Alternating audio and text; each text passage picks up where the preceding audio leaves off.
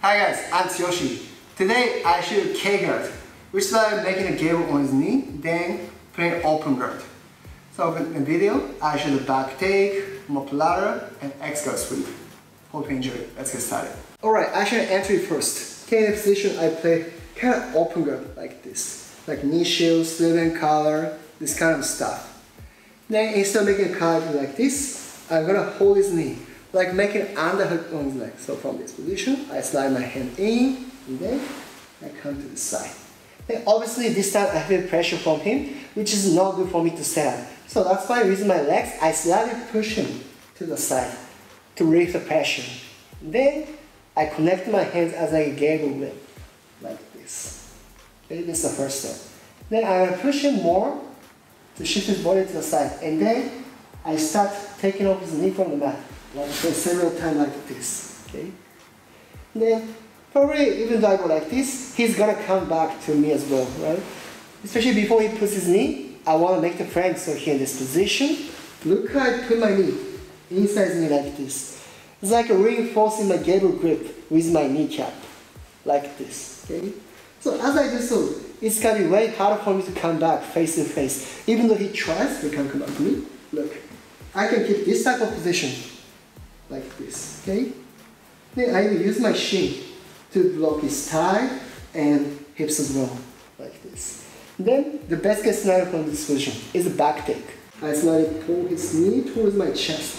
Then I create some space behind me. Then I circle my left leg. That comes behind me like chopping. Okay? Then next I switch my grips, right? With my left hand, I grab the pants. With my right hand, I go to far side leg like this. Like switch my hands like this. I'm going to push him more with my right leg. Like this. His leg is getting lighter. Now I push his shin like this. And then I come up. Okay, by the time I come up, I'm gonna make a hug around his hips like this. And then I pull him down to take him up like this. Okay, this type of open guard, okay? Then I get an underhook. See? I get under like this. And then I slightly push him to the side.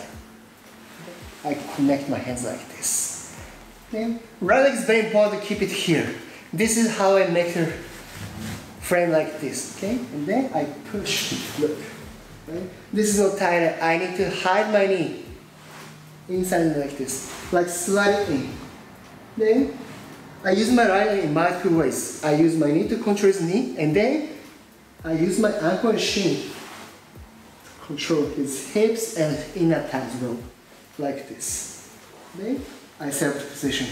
Right? If I can make this position, I start drawing his knee towards me like this. Okay? And then, wow. Okay? Next is be very important. I'm not only grabbing the pass like this. I gotta control the far side leg as well. Okay? If I if I don't control it like like this, he's able to go like this it's going to be hard for me to try rest of the approach. So in this position, as soon as I make, one, two, the far side. Like taking it back from the heaver. Okay, once I set up, I push in more, and then as if I his knee on the mat, like this. Then I can release my right leg. Okay, once I release, I make a bear hug like this. From are so many ways to take the back. What I like to do is this, I pull his hips, and then I shoot my leg to take the back.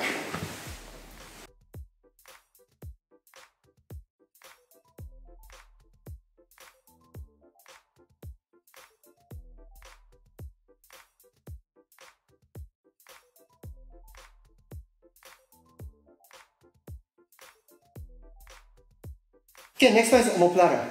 Obviously, when the time I set up the position, but he doesn't like this type of angle. He wants to come back to me, like facing my side like this. Then in order for him to make the good axis, he even grab my collar.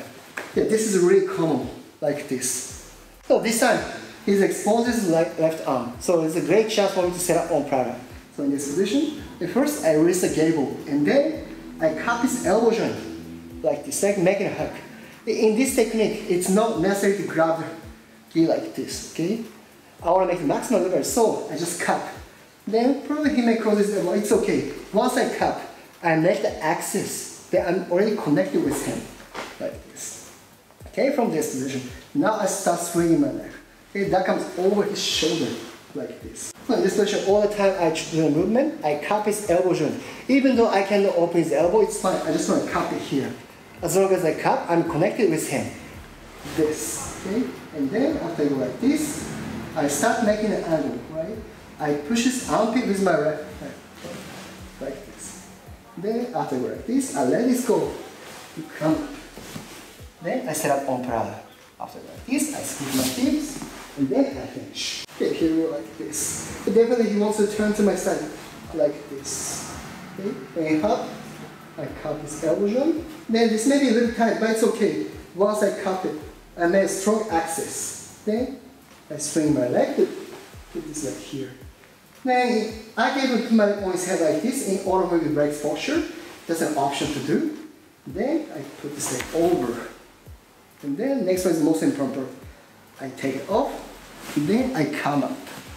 And once I come up, I his hips, I scoop my hips to the side. Then adjust the angle to finish omoplata,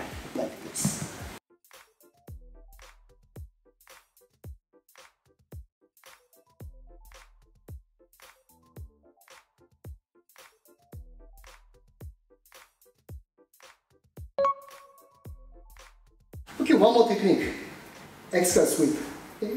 Once I set up gable on this side, I'm halfway down to set up X guard. Especially, I put my inside knee with the gable, I completely isolate his leg. Okay, it's gonna be much easier for me to set up X guard. Sometimes I may not be able to push him, or like he doesn't even come up. Like he stays in the middle, like with in my car, like this. In this case, I to make a hook behind zero pass as leg. Okay, I swing my leg, then I make a hook like this. Then I'm gonna scoop my hips his. Okay? By the time I do, I slowly lift up this ah, leg like this. Okay?